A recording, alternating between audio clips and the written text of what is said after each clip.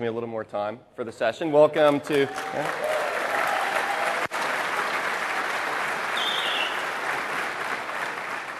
Thank you. Welcome to Case of the Unexplained. My name is Mark Russinovich, and I'm a technical fellow in Windows Azure. This afternoon, we're going to be talking about troubleshooting Windows, and this is the agenda that I've got laid out for us. I'm going to start by setting the stage for what exactly we're going to cover, what I hope you take away from the session, the kinds of problems that we can solve, and then jump right into some real world cases uh, that will show you how the, uh, troubleshooting tools, primarily sysinternals tools, are really effective at solving kind of everyday problems that you might run into on Windows that would otherwise be virtually unsolvable. I've divided it, the different types of symptoms into sluggish performance, error messages, and then we'll conclude with a look at blue screens. So this is actually the 2012 version of the Case of the Unexplained Talk series that I started at TechEd, I think in 2007. I'm not sure about the first delivery. Anybody remember the first Case of the Unexplained? Anybody been to all of them at every TechEd US? So a few people. So I think it was 2007, and actually you can go see previous webcasts of some of the older ones. And I recommend if you think this is useful that you do, because every one I try to make different. And it's different in a few ways. One is that there's different troubleshooting cases. And second, to go with those different troubleshooting cases, there's different techniques. And so this is just a subset of the kinds of techniques and tools that you will be able to use to solve problems. Let me show you how you can find the previous webcast. If you go to sysinternals, how many people have been to sysinternals? So, all right. Just wanted you to stretch and make sure you're awake. But if you go down to here to resources and go to Mark's webcasts, then you can see uh, all, uh, all my webcasts that are recorded that I basically catalog here right at the top, the ones that people are most interested in, the case ofs, and you can see I've got back to 2008. I think 2000, maybe it was 2008 is the first one. So I recommend that you come and take a look at those if you find this useful. Again, these are based on real case studies. Some of these have been also written up in my blog in much more technical detail than I have time to show you here. And I ask you if you run into or solve problems with the tools, that you take the time to document them, capture screenshots, write them up a description, and send them to me. That's the way that I fill out my library. And by the way, the library is pretty big at this point. Uh, you would think that people occasionally have problems running uh, applications on Windows based on the number that I get, but uh, I think it's just probably uh, I don't know, people making things up. So, the reason that we have to actually troubleshoot is that applications themselves do a, a poor job of, running, of handling unexpected situations. When developers go write their code, they do it for the environment that they expect the code to run in, and this is also the way they test the code. It's supposed to be installed properly, the DLLs are in a certain location, the ACLs are set right on the folders, and so they run all their tests and everything's great. And then it goes out in the wild, and most people don't run into any problems, but every now and then somebody has got an environment slightly different, and the app then hits the case that they didn't uh, program for, and suddenly the code goes shooting off in a direction that nobody ever looked at. And that has several symptoms as a result. It's misleading error dialog boxes, dialog boxes that say, my favorite one, unexpected error, or the app simply crashes or hangs. So the purpose of this talk is to show you how to go underneath the hood to solve these kinds of problems. And actually, you'll see that with the, given these, this is like not me just saying that you can solve these problems with the tools pretty easily, but these are real people that have solved the problems, and shows you that hey, eh, if they can do it, you can do it. Just takes a few minutes of getting to familiar with the tools and the techniques.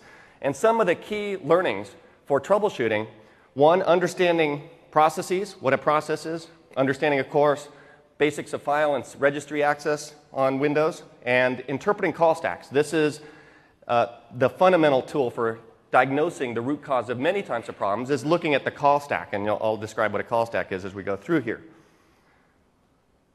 The tools we're going to use, well, I, this collection called sysinternals, I think they're pretty decent, so we'll use a bunch of those. Starting with, and this is the full list of tools that I've covered in any of the case of the unexplained. In this particular talk, I'm just going to use a small subset of them but I just wanted to list this, this slide I basically reuse everywhere. And then at the end of the talk, when I talk about blue screens, that's when we use debugging tools for Windows. This is part of the Windows SDK. And you can find the, actually, that's an internal URL at Microsoft, that slash slash DBG. We have access to the latest version, which is really cool. But you can go get that tool there. So let's get started. Oh, actually, one more thing. Now, of course, I'm going to give you 75 minutes of sysinternals tools, but this book, which Aaron Margosis and I co authored, published last year, is the definitive, obviously, reference. It, I, I think everything in there is pretty accurate about the tools, covers every tool, in fact just exhaustively. Even the least well known tools are covered in this, and full chapters on the major ones, of course. Aaron did the bulk of the writing. I have to give him credit for that. And so you can see his name's on the cover. He finally convinced me I should put it there. So let's talk about application hangs first. And this case that I'm going to show you makes use of this tool called Process Monitor. How many people have run Process Monitor? Let's see, raise your hands. Good, stretching their arms again. How many people have not run it out of curiosity? One, you're admitting it? Wow. so, Process Monitor is a real time file system registry network process DLL tracing tool. If you're familiar with FileMon or Regmon, which some people still fondly recall, then this tool is going to seem right at home to you because it presents a user interface that's very similar, although underneath the hood it's completely different and way more powerful than those tools were. First of all, just this is the default view.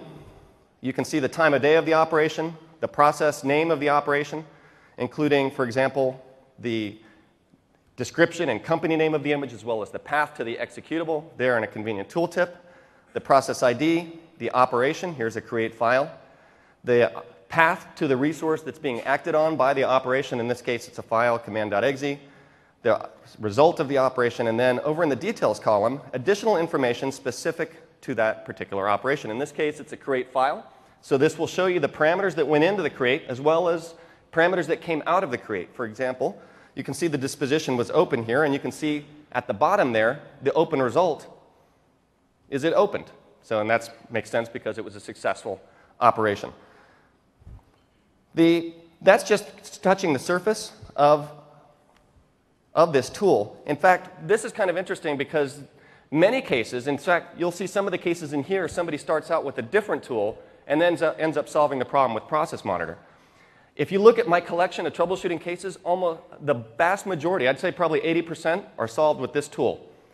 Dave Sol- uh, Solomon, my co author on Windows internals, he came up with a phrase at one point when in doubt, run Process Monitor. So I, that phrase has actually served me really well. When my daughter comes home from school with homework questions, I have her run Process Monitor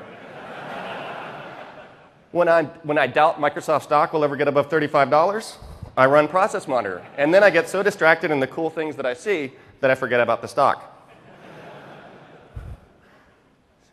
Now, those of you that have used Process Monitor for a while might not be aware of some of the most recent enhancements. One is bookmarking. I added this because uh, Microsoft customer support often troubleshoots cases and then they hand off the case to somebody else. They do a first level pass, they identify interesting things in the case, and there was no way for them to really uh, say, go to this line.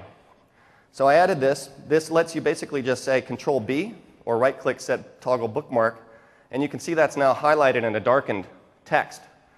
We scroll way down to the bottom and set another one, well, how do we get back to the previous one? There's menu items, or you can use the F6 shortcut, Shift F6 to go in reverse, and then we go to our bookmarks. That you can save that now and reload the file, and those bookmarks are preserved. You can even apply it to older Procmon files. I made it work against existing Procmon files too, so if you've got some already, you can use them. The, uh, another enhancement that's worth talking about is that process start events now show the process environment variables as well as the current directory. These can have an important impact on process behavior. A lot of processes pass information to each other and access the system via environment variables. Let me show you a little simple example. I'll turn on monitoring now and clear the display. So I'm going to CD into Windows System 32 and set my path to TechEd rocks. And then I'm going to launch another command prompt, which I can do successfully. Now let's CD here and try to run another one. And I get that problem right there. So if I go to the process tree, this is uh, something that is really handy at seeing the relationship between processes. I also use it quickly to go find which one I'm interested in. It's going to be this last child, of course, of the command.exe process tree. That's the one where I set the environment variable. Here's the one where I failed to run another instance of Notepad. So if I double click on that right here in the process tree, I've just set a filter, which I'll talk more about, to just that process. In fact, I go right to the very first item uh, that that process operation that process generated, and if I look at the tool uh, at the tooltip here, I can go and see that the path was set to TechEd rocks, and that's why the thing was broken. So that's another enhancement. This first case now, let's get back to that because this person ended up using Process Monitor to solve it. They experienced a 40 second delay for IE's download bar to come up. So they went to some site, pressed on right click download or the download button, and IE just sat there. They didn't see the bar, they could still interact with it, and then 40 seconds later, boom, it appeared. And this happened continuously over the course of uh, a day or two before they said, hey, I should run Procmon. And in fact, they first tried, of course, running IE without any add-ons, first troubleshooting step with IE, still had the same behavior. I can reproduce that behavior with IE, so let's go take a look at it. And in the process, I'll show you a cool way to get all of the tools. Well, first, the, if you're not aware, there, there's a live sysinternals.com right here where you can access the tools through a web WebDAV share directly without even having to install them. So I recommend you check that out. But if you go to the sysinternals suite page, this lets you download the whole package of 70 some tools in a svelte 12.2 megabytes. And that's without using assembly language, too. So here I double click, I say save. Oh, and you know what? I forgot to say, uh, oh, I'm capturing good. And at this point, the yellow bar should pop up instantly saying status of the download, but nowhere to be seen. So where is it?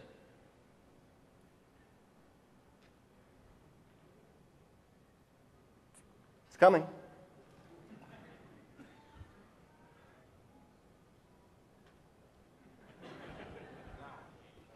Everybody yell boo.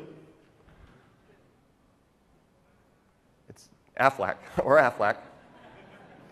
All right, it's good. Ah, okay. Now it's asked me where I want to put it, and then the bar is going to come up. So that was, I don't know, a minute and a half. I don't know, it seemed like forever, didn't it?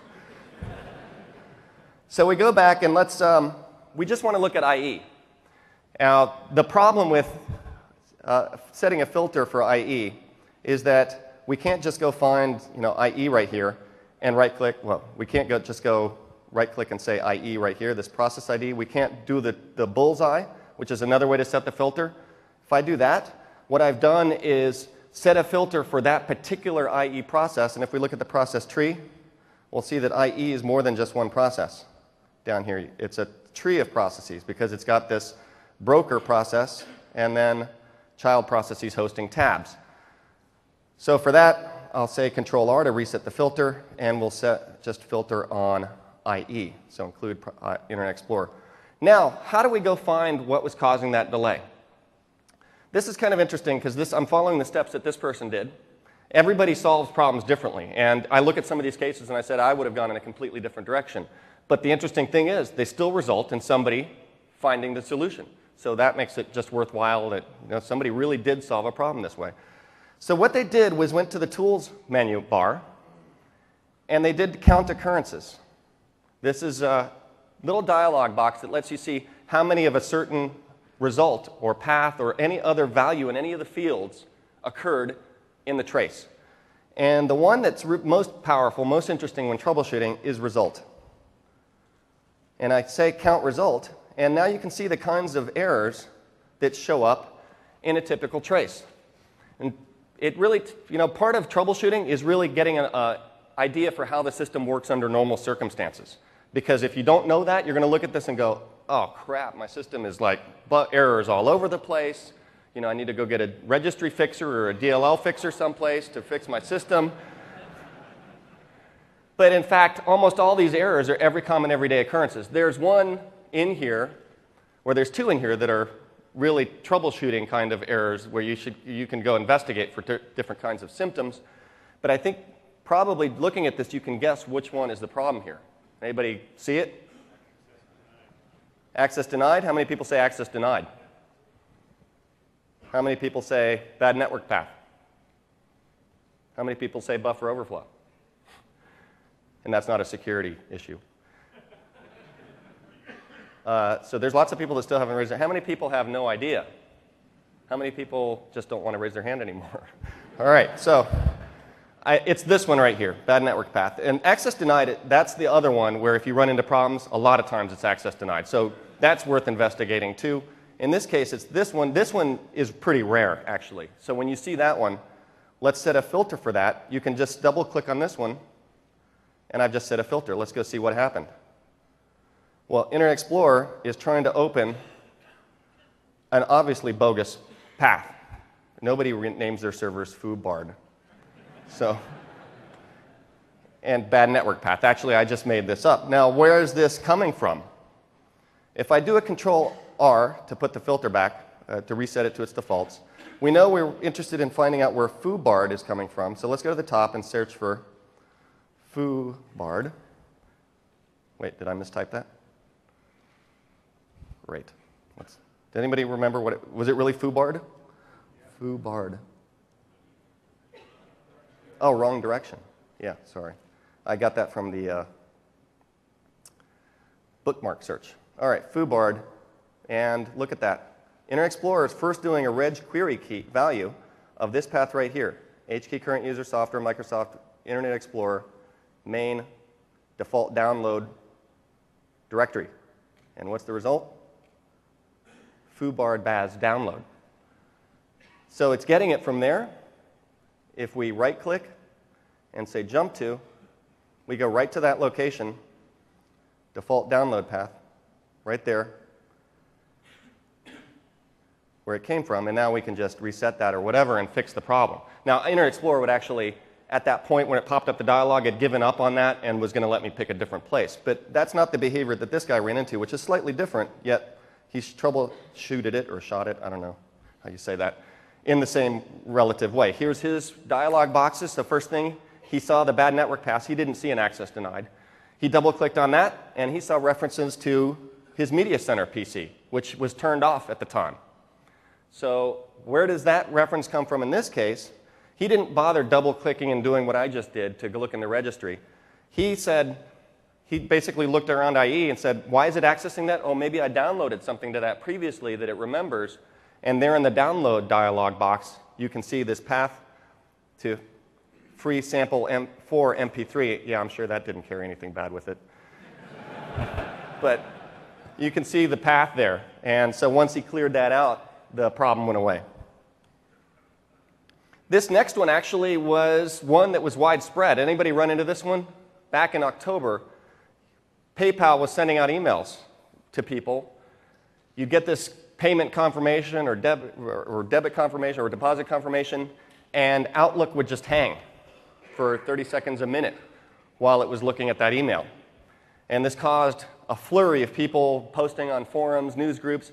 Well, this particular person, I think, was the, might have been the first one to, to solve the problem, at least from outside PayPal. Oh, by the way, I think the interesting thing about the previous example is that it's a sluggish troubleshooting case that didn't involve Outlook. Now, this one does, which is just, just kidding. I can't help it. You know, uh, Outlook's my friend. I live. So, any case, uh, yeah, me and Outlook have gone through a lot together. I'm sure you have too. This, so, Outlook hangs on this, and what he does, he takes a different approach than the other guy did for a similar kind of symptom. Let's go take a look at his file which is sitting here in this directory. So there's the clue somewhere in this list. It's filtered already down to Outlook. Somewhere in here is the clue for why Outlook is hanging on that email. He did, I could do count occurrences and that wouldn't even reveal it. Well, it actually might.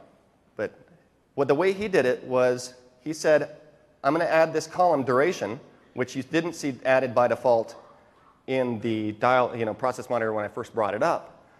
But this duration column shows you how long a particular operation took. And again, their hint is in there, the clue's in there somewhere. Some operation took a long time. We're not going to go digging through the 3,000 events to find it. Instead, what we're going to do is set a more complex filter here. We're going to say duration is more than, and let's just pick one second just to see if we can spot anything that sticks out. Say OK, and there it is. A create file to this bogus path with an, well, there you go, there's an access denied. So this is actually a server that was on the web, but uh, was locked down so that nobody could access it except for them, but somehow Outlook is referencing this thing. How's, why is Outlook referencing this? So that was his next question. So he turns back to the email, and first of all, he does a, a web search to see if he can figure out what that DNS name, who owns that. And it's a company called Omniture. Actually, while I'm here, let me show you another little tool. Another way that you could see this is using the sysinternals whois command. And then I can do copy, paste, and then say who is. Whoop. Oh, this is the bad command prompt. Who is? And then, okay. Oh, that one already said it too. Yeah, all right. Who is? and then you can see that it's uh, Adobe. And uh, you can all give them a call right there.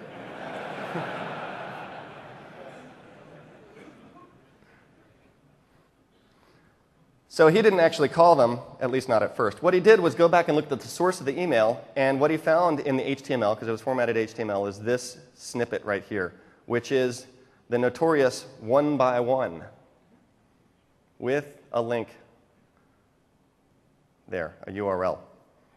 Now, this obviously, one by one, means people aren't supposed to see it, and it's referencing something else. Obviously, PayPal is using Omniture to track how people are reading their PayPal emails, like how many people open their emails. Well, they just hit, count the number of hits on this particular URL, and that gives them some kind of idea. And also, they can see who did it because they're passing in that, probably the parameters there, some ID that tracks you. It's all for your own good, though.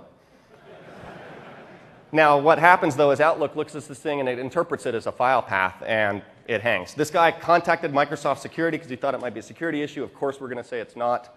And so then he contacted PayPal, and they said, yeah, it's a problem, and so they fixed it. And you can see still the remnants on the web of this thing. Whoops, that's the wrong. Oh, I don't, actually don't have that URL. But you can go up there. See, now PayPal, what they recommended to him was to do this, which is to map that to a null address, and then his and this went all over the internet for how to deal with this problem. Actually, there was all sorts of, as I was looking at this, there was all sorts of interesting solutions to this problem, including pretty screwing up your uh, Outlook configuration pretty well to work around it. But the bottom line is, he used Process Monitor. Within a few minutes, it led him to the clues that he needed for, to figure out what the problem was, and, and then he was able to go and find a workaround. And by the way, there's a lesson in troubleshooting cases like this and others that you'll see where you think troubleshooting, I'm going to solve a problem. I'm going to go find the root cause, and I'm going to fix it. And that's not really what troubleshooting is all about. Troubleshooting is about m- making forward progress, getting past the problem, and that might just mean working around it, not actually fixing it. So in this case, he worked around the problem because he couldn't fix it. Now let's take a look at another few cases. This one is a sluggish performance section, and so we're going to start with Process Explorer. This first case, the user uses that. How many people have used Process Explorer? All right, I know. so I'm not going to make you do it again. Now, uh, Process Explorer, for those of you that might not have been aware, you, it's like people consider it a process or a task manager replacement. You can literally replace Task Manager right here with the Replace Task Manager button. And so now, who, what's your favorite way to launch Task Manager? Control Shift Escape. That, that's mine too. And let me close this and Control Shift Escape. And okay what happened. Control Shift, oh, not function Shift Escape, Control Shift Escape. There we go. Now it launched with uh, limited user rights, so I'm going to elevate it so we can continue, but that's uh, showing you how Process Explorer can replace Task Manager. So let's take a look at Task Manager. Uh, oh, actually, some more things before I get into the review of the display.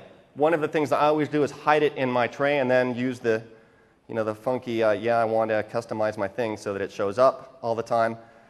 Uh, if I was outside of Microsoft, I probably would have just made Process Explorer hack this so that it would just show up all the time, but now I've got to play by the rules. So, and then what you can do is spot excessive CPU activity. The tooltip will show you what's the biggest consumer at any point in time, and then it's an easy way to launch it as well.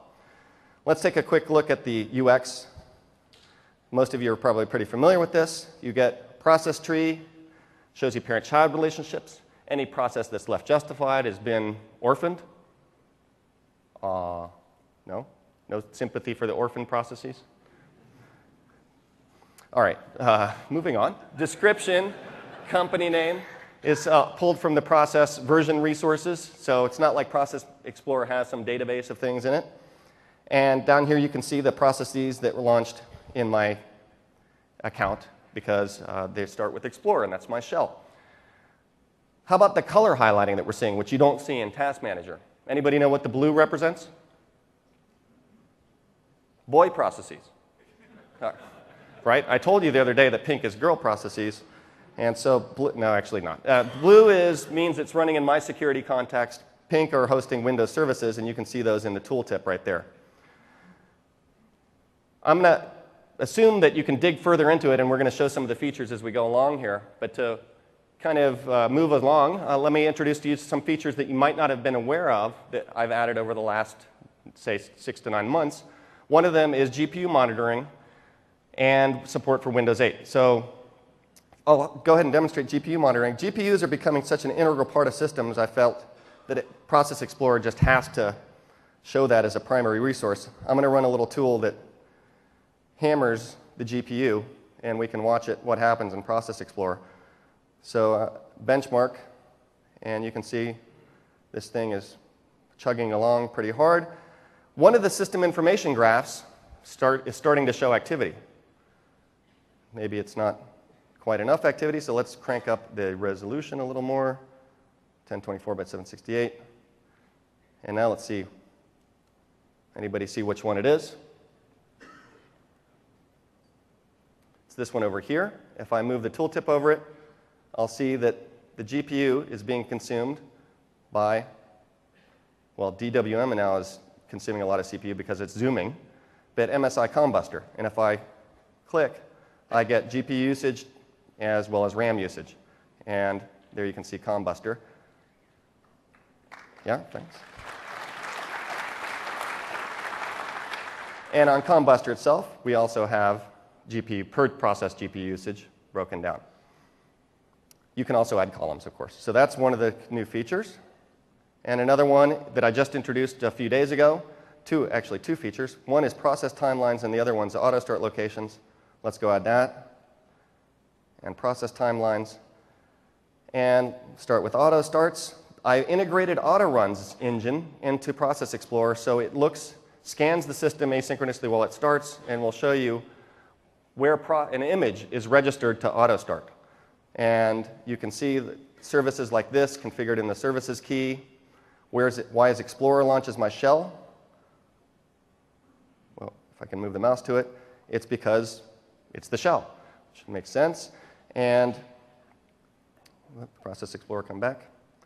And for services, like service hosts that are hosting multiple services, well, there's an IPsec policy agent in here. If we open the DLL view, I've added the auto start location to that, as, uh, to that as well. And if we sort by that, you can see where these guys, DLLs, are coming from, including the service itself coming from policy agent. So that's, uh, whoops, uh, I think a pretty useful troubleshooting feature.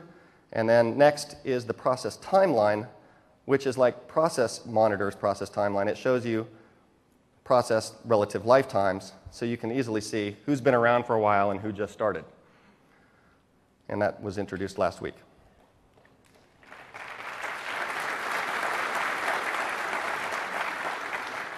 So let's move on to a, the case now that uses Process Explorer. This one, start, guy, administrator, system administrator, had had this web server where jrun.exe had uh, occasionally spiked to consuming a whole core on this dual core system. You can tell it's a dual core system because when you spike to 50%, that means you're using one full core out of two. He never bothered to try to figure out what it was. It was one of those things where, well, things work kind of well enough, and I don't really know how to figure out what's going on anyway, so I'm just going to let it be. He came to one of the Case of the Unexplained talks, and then he saw, hey, I can actually go figure that one out. So what he did was looked at Process Explorer and looked at the threads within JRun to see if he could spot anything. Now, this brings up the difference between a process and a thread. Processes don't actually execute on the CPU, it's the threads within the process. So if I look at just a, a Explorer, for example, and I go to the Threads tab, this will show me the threads that live in it that actually are make up Explorer's usage of the CPU. We can see Explorer using some. And one of the things that Process Explorer will show you are start addresses, where the thread was programmed to begin its life.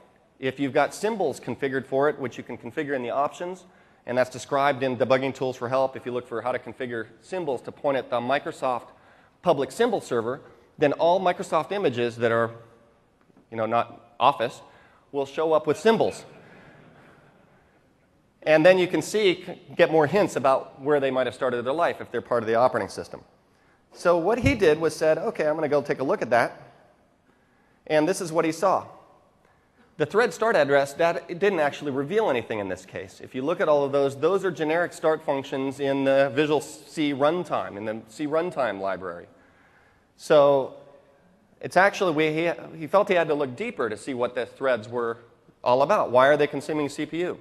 And for that, he turned to the process, or sorry, the thread stack. Now, what's a thread stack?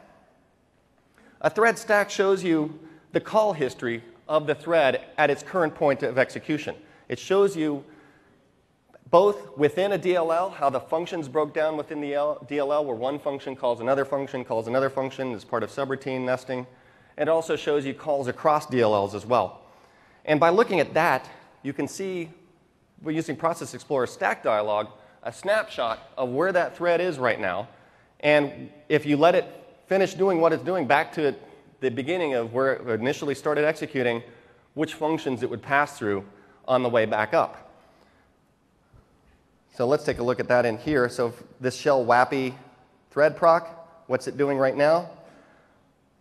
Well, it's sitting here. This is the beginning of its life. So it called some just standard operating system thread start functions. Here's the worker thread begin function. Here's Explorer now. And Explorer's tray message loop is what is executing. In fact, it's probably displaying Process Explorer's icon, which is why we see it executing on the CPU. And then it's sitting here waiting right now for a Windows message. We can see it heading up into the window manager, user 32. So that gives us a little insight into what threads are up to. What he did now, double clicked, and this is what he saw. This DLL right here, this, anybody know what that is just by looking at it? and by not looking at the slide up there? There it is. It's the Cold Fusion DLL. Anybody still use Cold Fusion? Yeah, one person? Why? No, just kidding. So there was no obvious reason for the CPU usage here. This is where uh, he'd gone down this path. He had some clues now, and he turned to what tool now? Let's all say it together. When in doubt, let, wait, no, yeah, but no, let's do the whole thing. One, two, three. When in doubt, run process monitor. That's pretty good. We'll get better by the end. All right, so let me pull up that. Uh, log file right here. So here's the full unedited log file. Now there's a lot of stuff in here. Uh, he, what he did was set a filter for JRun just to see what it's up to. But I'm going to show you another way to to zoom in when you've got a lot of things going on, like who's the busiest? It's the tools process activity summary. And at this point, I can see by sorting by file, by CPU, by registry. I see kind of timeline graphs as well. Now look at registry, kind of sticks out here. This guy, 21,000 operations, and it just happens to be JRun. If I double click, I get this dialog, which shows me JRun's execution over time. But so it's JRun. There's some other tools up here, like we know it's registry. What registry keys are being hit? Let's go to Tools, Registry Summary. And the, almost all of those 21,000 operations are right here. HK Local Machine Software Macromedia Cold Fusion current version clients. Just like the other dialog box, I double click and I've set a filter for that. And so what is that key full of? This. A bunch of names with big numbers and lots of indices. We're, look at, we're in index 56,000. And the trace goes on, and this is just a subset of the hang, so hundreds of thousands. So he does a jump to and oh, tries to open that key in regedit, and you can see regedit doesn't like that. so literally minutes later, regedit would finally open, and there it is, full of that stuff. So he does a search on the web, and he finds this article. Uh, did I close that? No. IE. This how to configure client variables in Cold Fusion, and it says, yeah, you can use uh, the registry, but uh, yeah, we don't recommend it. So why that's the default, I don't know. Actually, whoops, I didn't want to do that. Here, where does it say? By default, it's in the registry. In most cases, however, it's more appropriate to store the information as client cookies or in a SQL database. So why didn't you just do it that way? And maybe that's why people don't use Cold, Cold Fusion anymore, I'm thinking. So he opened the dialog box and he flipped it over to cookies, and the problem went away.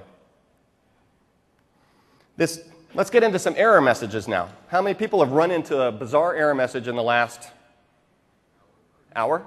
Yeah. Anybody in the last 15 minutes? Yeah, somebody? So these happen all the time. I get them all the time. I, I told you my favorite one's uh, unknown error. This one, though, is up there because this person sent it to me, and I'll try to read this for you. La acción no se puede completar porque otro programa abrió la carpeta o uno de sus archivos.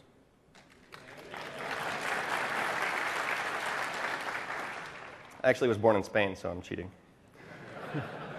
so that uh, dialogue, uh, I think everybody picked up what that was. That's actually one of the most common dialogues you run into in Windows. And I've got a case where I can run into it right now on purpose. If I go to case of and I say, if I say, uh, well, this, file, this directory right here can't delete, well, here's the English translation in case you missed it. It's Opened by another program. Well, what other program? Thank you. and we can do a handle search. And we can say, can't delete. And do a search. And then click, and it's there it is in the handle table, command.exe. We can, even if we want to, close it. Although we get a nice error uh, warning message Forcing a handle close can lead to an application crash and system instability. Normally, I'm not one to care so much about those kinds of things, as you'll see at the end of the presentation. But what do you think? Should we uh, close it? Yeah? Nah, let's not. Oh, okay, okay. Can do that. Okay, so we close it. What's going to happen now? Do you think we'll be able to do a directory listing? Oh, there's what happens. So it kind of looked like it was working, but it's kind of sick at this point, and I think we'll just put it out of its misery. There. There. Uh, well, actually, there, it went away. So that's uh, handle searching for the infamous file in use. Now, what he did was he used Process Explorer to see what was going. He looked at the uh, to search to see what files were open and saw that the thumbdb file here in the directory. Oh, sorry, I forgot to even set this one up. He, users were complaining about seeing this dialogue, obviously Spanish users, and retrying would almost always work, but it was annoying enough that he kept getting calls, support calls. So he finds a system that it reproduces on, and he sees, catches it right in time, Process Explorer, and sees this file in use. And then he concludes, after he does this little research on his own and on the web, that if ThumbsDB is present, Explorer opens it and does stuff with it, and it doesn't close it in a timely way. It's not even clear why not, but he managed to find a group policy setting. There, should be obvious what that one is. That we, where you could go and say, you know, I don't want thumbs to be scanned. And this one, you know, I, this one is like this long winded, everybody. In fact, somebody came up to me two days ago and said, I run into problems with thumbs here. and ran in, running into this on Windows 7. So apparently, we've just decided that it's going to be fixed in Windows 8. And in fact, in fact, any annoyance or bug you see in Windows 7, it's going to be fixed in Windows 8. All right, let's take a look at another one now. Now, this one, a particular user complained that the Details tab of the Explorer properties was missing on the PowerPoint show files, but not the PowerPoint show Office 2012 files. Now, obviously, this person is in marketing and just looking for an excuse not to get any more work done. but let's, this is actually something you can see on your own systems. If I go to computer, and, well, if I go to my little folder here, and I go to missing PPSX details, I've got uh, two files. One is a PPSX and one's not. I'm going to reset Process Explorer, and we're going to fire up, or Process Monitor, and we're going to fire it up and capture a trace of the execution of me looking at the properties of the PowerPoint show file, and then compare it side by side with me getting the property or looking at the properties of the 2012 version and then see if we can find the difference. This is one of the also extremely powerful troubleshooting technique. If you can get into a situation where it works on one environment and it doesn't work on another environment where you can, can compare the two, that is actually kind of a, a big help in narrowing down what could be going wrong versus just searching through and trying to figure it out. So that's exactly what we're going to do in this case, and that's exactly what the, this person did when they ran into this. What we're trying to do is say, how can I, what, first of all, why is that functionality missing? And then if it's missing, how can I add it back so that my marketing people can get working again? So he, let's go look at the PPS first. If I do properties, well, you can see if I move to the details tab, that I don't see the nice things where you can see who made the thing and you know, where that came from, and it's the marketing people that did it. So let's now save that to the desktop.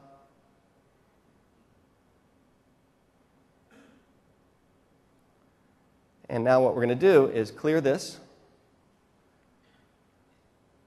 and then go back and get ready to do it again on this one, which is just an empty 2012, and if we go to details, you can see that we have the nice little descriptions and the authors and the revision number and all the things that the marketing people love.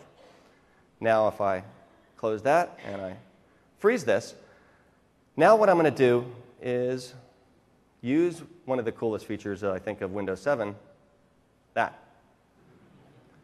Aero snap. Long live Aero. Now, I think some people got that. Whoa, uh, somebody got that.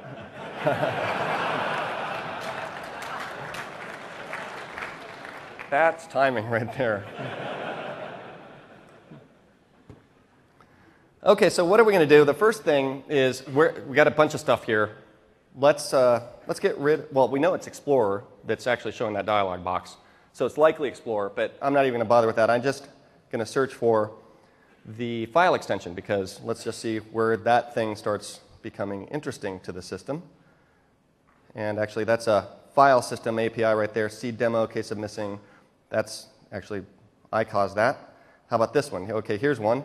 Promising, reg open key for software classes PPS, name not found. Let's go back to the other side. And I apologize because Process Explorer, the way I've implemented the tooltips, causes the list view control sometimes to slam the, uh, the scroll bar to the left, and so I'll have to reset it. So that apologize if that happens while I'm doing this. But here's the, uh, well, is that the one? Well, that's not it. That's a different thing altogether. And here we're lined up now. And this is what you kind of generally want to do, is line up between the two traces to see if you can spot differences. Uh, so you can see the, the, what, the spasming of the list view control.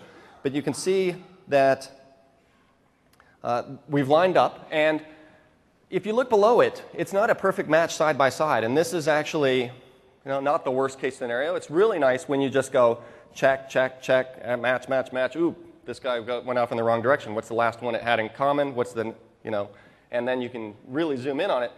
But I found in many cases that systems are so subtly different with different registry keys in the mix and different the DLL add-ins and things like that, causing enough to get thrown off that what I do is I look for shapes and kind of try to match up shape-wise. So I'll go down the trace. Oh, there's a, we've lost the shape match. Oh, but we've regained it, so it's okay. Oh, we've lost the shape match, but we've regained it. And that's kind of what we're going to see here. So I'm going to press down page. And you know, actually, one of the things that I can do is just, for the sake of time, get rid of the time column, get rid of the process name column, get rid of the PID column, and then that way we don't have to deal with that jerking around. And do the same on this side. Time, which other one? Process name and process ID. And now we can kind of work unobstructed. So where were we? We were right here and right there. Let's scroll down a little bit here. Scroll down a little bit here. We've lost our shape. We've lost our shape. Can we get it back? I don't know. It looks like we've lost it completely. We're not supposed to do that, actually. Let me do a search again here on this side and on this side. So this is the challenge of doing it live because the traces are always subtly different. Oh, you know what? It would help if I got rid of everything but Explorer because I'm probably looking at other stuff mixed in. So let's go ahead and do that while I'm here. Explorer. And that will help us out a lot. I should have just done that at the beginning. And Explorer. Okay, now let's go back, resync, and resync. And here we are. Okay, now let's take a look at the shapes. They still don't match, which is uh, okay, I guess. And they matched uh, before. What is doing this? Process. Oh, you know what? I didn't set a filter for Explorer on this side. Did I? Okay, Try number three. I think three times a charm here. Okay, now, are we going to match? No. okay. Wait a minute. Something funny's uh, going on. I think it's, we still see host process. So I've got screwed up filters on this side. Oh, in fact, it didn't even include Explorer. All right. Hold on one second before I admit this is a bug. Let's add this back and say, all right, Explorer. There. Ah, okay. there. Now do we see a shape match? Do you? It's better? Yeah, it's improved. Oh, there's current versions. Here's I saw current versions up here. Oh, there, current versions. We got a shape match. How about here? Oh, slideshow 8, slideshow 12. It's Looking good. Oh, look at this. We're matching up better. Matching up better. And, uh huh. Yeah, that's what I thought.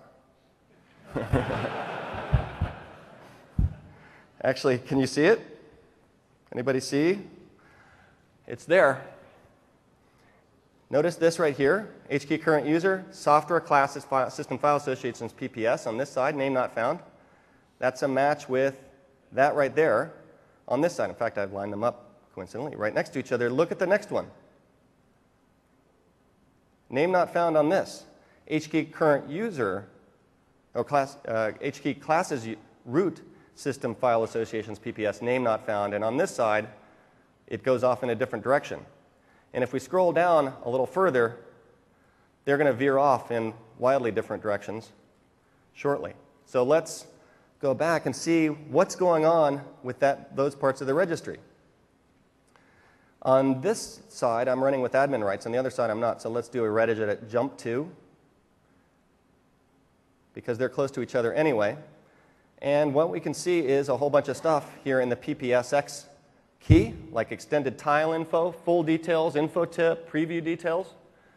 And we know that there's not a PPS key, which would be right before this one. So it's missing. So what do we want to try to do? And this is what he did. He said, hmm, I wonder if I just export that and then change the path and then re import it back. You think that'll work? Yeah, it's kind of obvious at this point that I'm setting you up for that. so let's go try it. And here's the, I've already made the reg file. Here it is, and you can see that the only thing different is I've set the path to PPS. So now what we're going to do is double click.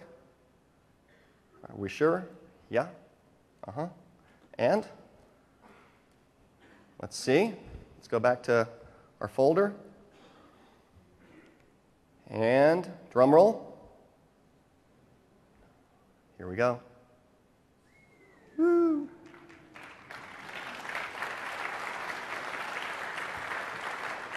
All right.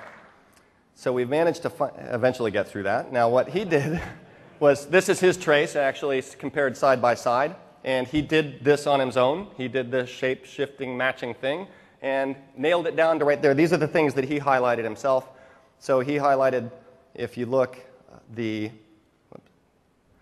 this right here, the PPSX file associations key uh, success on that side, name not found on that side, and then he saw this reference to full details here, name not found on this side, and success on that side. And then so that's what he did. Now, the case wasn't completely done for him. Whoops. Wasn't completely done for him at that point because the marketing people, when he gave it back to them that way, they said, wait a minute, we can't edit those settings, so we still can't get any work done. so he had to do it again, and he did it again. That's that another reference to HKey classes root PPS missing uh, another one, and repeated the import export, and now you can see the no edit and the fixed. Finally got the marketing people to go find some other excuse not to get any work done. So that uh, is the example of the side by side, which I find many cases to be the key to getting a clue to solve a problem. Let's talk about blue screens now. How many people have run into a blue screen in the last six years? All right, how many people in the last week? Anybody in the last week? Wow, how many people in the last day? I can't, is anybody raising their hand? Yell if you're raising your hand. Wow, that's, I thought I was going to be able to ask that question and have nobody raise their hand. I was hoping, but uh, we still have hardware problems. That's what it is. It's all hardware problems. so, how many people have seen a blue screen out in the wild? So, quite a few of you. If you see one, send them to me. The New York subway? That's a good one. I've got some to share with you.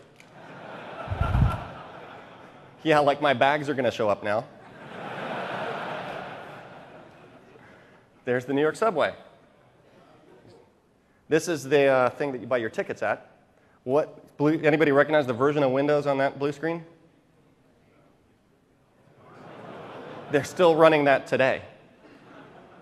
So, uh, anybody that wants free tickets, let me know. so, how about the here billboard? CompUSA's bestseller. No wonder they're out of business.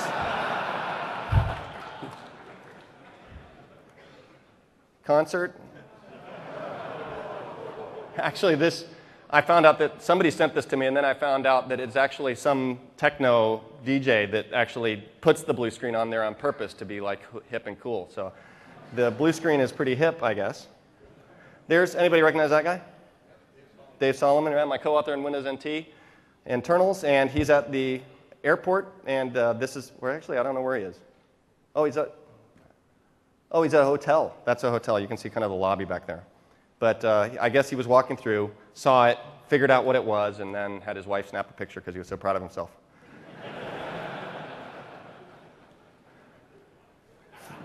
Flight to nowhere. So this is a gas station. Now, I don't know if I can blame the uh, gas station. Actually, those are unconnected, but I thought it was funny because that picture was taken in the Microsoft parking lot.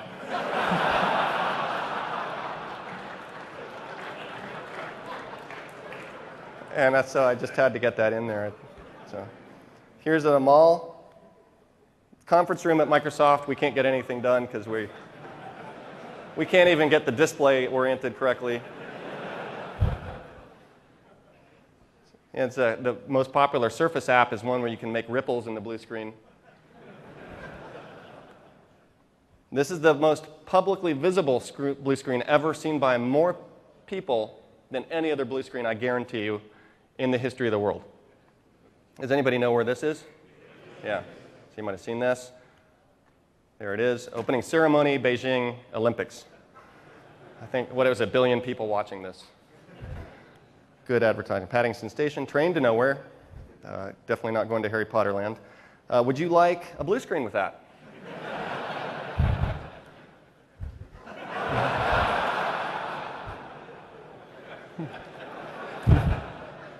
And just to show it's not just us,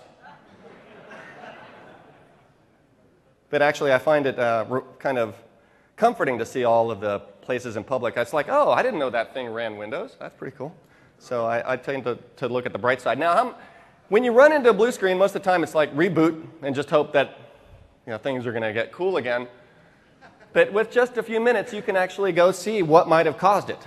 And it's worth doing. It's, it's kind of hit or miss but if you can figure out that one of every five, then it's probably worth the literally few minutes it takes to go and analyze a blue screen.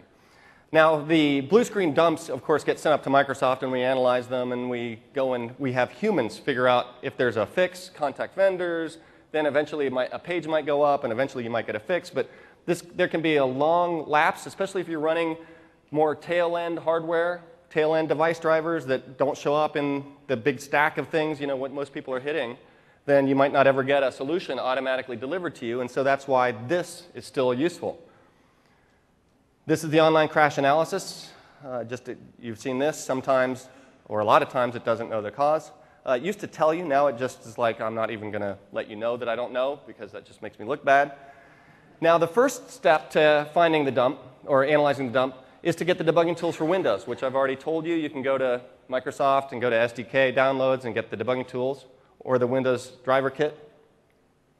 The second thing you need to do is actually go figure out where the dump file is. Now, over versions of Windows, there's different sizes of dump files created automatically, and they go in different places. And so you have to memorize this big matrix. Actually, there's a rule of thumb. Go into the Windows directory. If, there memory, if there's a memory.dump file there, open that one. If there's no memory.dump file, then go into the mini dumps directory. And there'll be mini dumps, hopefully, of previous crashes, including the most recent one that you're interested in. Just open that one. So that's all you need to remember about where these things are. Now, what do you do? Let, let me show you uh, a case. Well, let me actually let me introduce the case for you, and then I'll show you how you analyze a dump. The, this case started with a Hyper-V cluster starting to have random crashes. And this is another situation where the person had come and seen the case of the unexplained, saw how easy it was, and so they said, oh, I'm going to go take a look at it myself. And let's go see what he saw, because I've got that dump he sent me. I'm going to open up WinDbg. I'm going to go to File, Open Crash Dump. And this is the Hyper-V BSD. It's a mini dump. What this is going to do is load kernel symbols. You've got to configure the debugger for, to point at the symbol server, which you can see I've done that right here. The public symbol server, as I mentioned, download symbols. The same thing you do for Procmon and Procexp, Process Explorer. And then further down, it says bug check analysis, and then bug check to the, zero, zero, uh, the dreaded 20001 bug check, right? Nobody knows that one? Well, what is that? The dreaded hypervisor error. Hypervisors encountered a fatal error, which is bad if you've got multiple virtual machines. It's really bad. It's like more than 1x bad. And then a stack. So the recommended troubleshooting is look at the crash uh, dump stop code in human English. Maybe that gives you a clue. And then always look at the stack trace over here that it dumps out for you. In this case, what we're seeing is the most recent, which is just a call to crash the system, because that's what happens. Anytime you actually get a blue screen, the system's healthy enough to do that, which is kind of good. Instead of a you know, hard hang or a situation where there's no blue screen at all and no dump file to look at, this is actually better than that. And here we can see the system saying, I'm sick, something's wrong, let me call this. And we can see that the, this is a hypervisor, looks like a hypervisor uh, driver right here. And then these are actually parameters. So this isn't actually telling us much. If we see that 2000, 20001, that is the stop code. Most of the times, those you'll see in stack traces, the drivers calling each other, calling each other's functions and calling into the kernel and then running into the problem. So what did he do at this point? Well, there's not much to do at this stage other than to turn to the web. So he sent me this screenshot that he'd actually binged and I said, That's really cool that you use Bing. And he said, Actually, this is a new machine and I haven't changed it yet. So.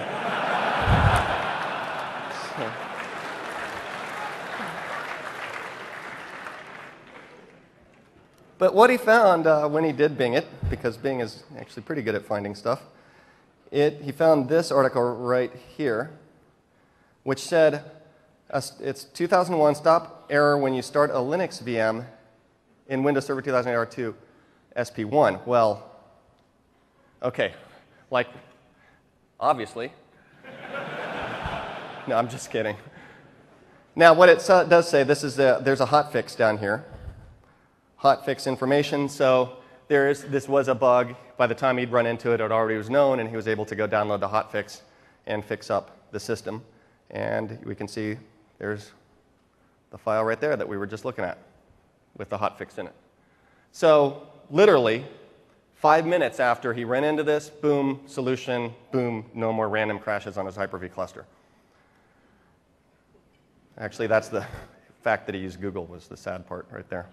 Now, how about uh, this one? An admin updated uh, GFI backup program from the 2009 version to 2011 version. And what started happening then is every time that he'd do a backup of the server, boom, blue screen and, to a network location. And it would just happen every single time. He's like, this is one where he was completely stopped. It's like no back, server backups or go figure out what the problem is. So let's go take a look at that crash dump. I'm going to do Control D, which is the shortcut for opening a crash dump. And let's open this guy up.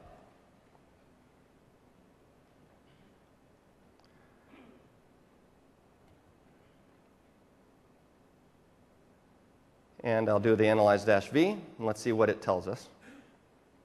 So first of all, it says page fault and unpaged area. This is really actually one of the most common kinds of stop codes. IRQ while not less or equal is another one. And it tells him that it's probably caused by this guy, ncfsd.sys. Now, what is that driver? Well, he goes and does a web search using Google, and he runs into this. Yeah, well, you know, it's an NCSFD error. Well, here's what you should do download this DLL fixer, and everything will be taken care of. So that's Google for you. so, what about the second hit? He looks at this. It says sec- the second hit said crash could be the result of low disk space. Look at this list of File allocation damage, damage password list, damage or incorrect version of the NSFD file, damage registry, hardware CPU overheat. The only thing that's missing on here is my computer's mad at me. so, but he did the low disk space, he freed up some disk space, and it just took longer to get the crash. So then another hit, finally he stumbles across this one. What is NF and this? Well, it's the Novell client for Windows.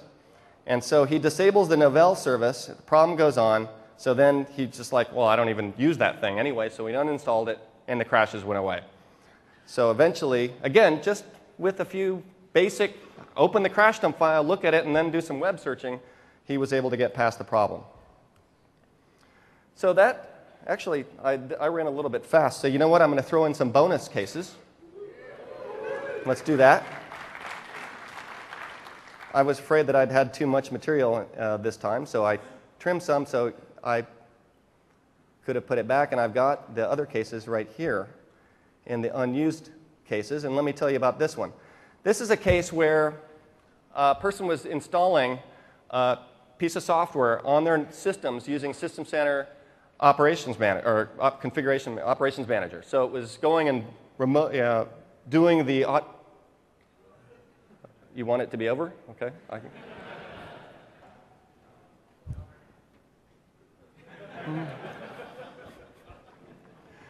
So he was doing uh, uh, uh, this remote install of his systems, and it would fail to install. So he catches a procmon file. Well, here's the error message that he got from the installation. Location is not available. And you can see uh, Windows System 32 config system profile desktop refers to a location that is unavailable. So he's saying, what the heck is uh, that? So he creates this. He goes into Windows directory and creates system profile desktop. Runs it again, still gets the same error dialog box. So now time to pull out process monitor. So that's what he does. And this is filtered down just to have path references to the word desktop. Now, there's something different about this path than the one in the dialog box. Anybody recognize it?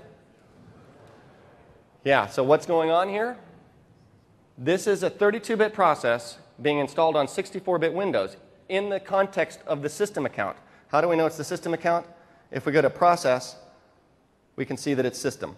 So, under normal circumstances, if you installed this as an admin, the user profile would be over sitting in users. And the file that path does not get virtualized. But any paths into the Windows directory, Windows System 32 directory, if you're a Win32 program on Win64, you get redirected into syswow64. I can show you an example of that by just running uh, the 32-bit notepad. Let's do that, and we can watch, see Windows syswow64 notepad, and I'll fire up Process Monitor to watch as Notepad opens files, and we'll see the references to different very locations that don't, where we think we're looking at uh, bit Windows System 32, but we're actually looking at 64 bit Windows System 32. So let me add back the process name here so we can see what we're after and do my bullseye filter on Notepad. So we're now just looking at Notepad. And then I'm going to navigate in Notepad to what I think is Windows System 32. So, for all intents and purposes, I think that's where I am. But where am I really? If I go back to here, I am deep in the heart of, let's get rid of the registry APIs. I'm deep in the heart of Windows syswow 64. Here you can see all of the syswow 64s. So what's happening is it's the file system redirection. I could actually drop a file here, and then the 64-bit notepad wouldn't find it. So when he was armed with that, what he did was simply go back now and create a syswow64 path to the desktop, and then the problem was solved.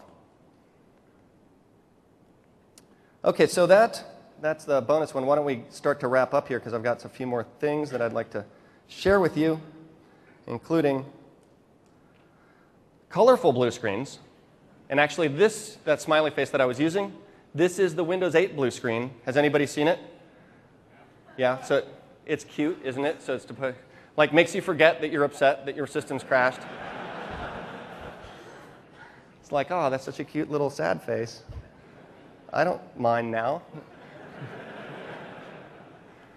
but I think actually the way that I designed the blue screen was even better, and that's using a tool called Not My Fault. And before I show Not My Fault, by the way, I wanted to mention that, uh, that Not My Fault it is a tool that's part of Windows internals that's aimed at it's uh, aimed at uh, showing you different ways that the system can crash and how to diagnose them using uh, the debuggers. And that's going to be an expanded chapter in Windows Internals Part 2 let me go and pull up Not My Fault. And this is a case where I've got to actually show you physically my system. So I'm going to unplug it and turn it around to show you what's going on because it doesn't come up on the display. Or maybe it does with HDMI. We'll see. So, not my fault. You can pick the colors that you want the system to crash in. and there's an Easter egg in here, which is black. Whoops, colors black on black. Okay, here we go. Ready? And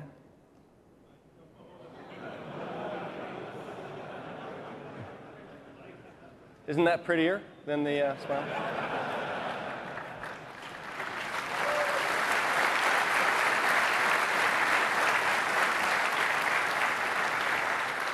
So, to wrap up here, um, what I hope you take away from this is I, I didn't give you the recipe, and I think lots of people have asked me over the years, what is the troubleshooting recipe? Step one, step two, step three, boom, I've got my answer. That's just not the way it's going to work. Systems are so complex, there's so many variables involved that there's no one shot solution. But what I hope you took away was knowledge of these tools, knowledge of the skills, things like side by side compare, the filtering, how to identify different processes, how to look at call stacks that will lead you down, if not to a solution, at least to a workaround. So remember, please, if you solve any cases, please send them to me, and I can add them to the collection to share with everybody else. I really hope that you had a great Tech Ed. I hope you have a great party tonight, and I hope to see you again next year at Tech Ed. Thanks very much.